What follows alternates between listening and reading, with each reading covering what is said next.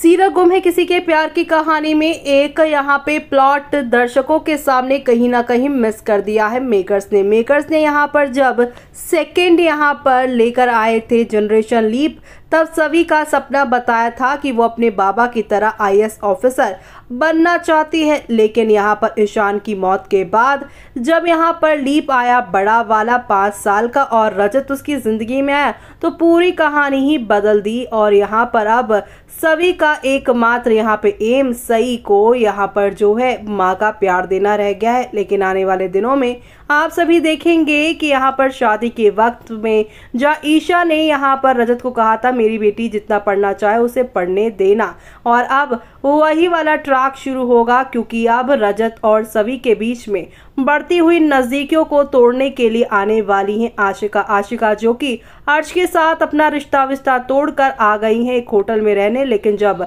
ज़्यादा पैसे खर्चे होने लग जाएँगे तो वो कियान का सहारा लेकर ठक्कर हाउस में एक बार फिर से घुसने की कोशिश करेंगे और यहाँ पर वो अब रजत के साथ अपने रिश्ते फिर से बनाने की कोशिश करेंगे, क्योंकि अब रजत पैसे वाला हो चुका है और यहाँ पे रजत के साथ, वो अपने दोनों बच्चों के साथ, रजत के साथ रहने का सपना देखेंगी। इस दौरान यहाँ पर रजत और सभी की दूरियाँ बढ़ने वाली हैं और अब शो में पाँच साल का लीप आएगा। और लीप के बाद सभी यहाँ पर आई ऑफिसर के तौर पर आप सभी को नज़र आएगी और ऐसे में इस लीप के बाद रजत सभी की ज़िंदगी कैसी होगी, देखना होगा बेहद।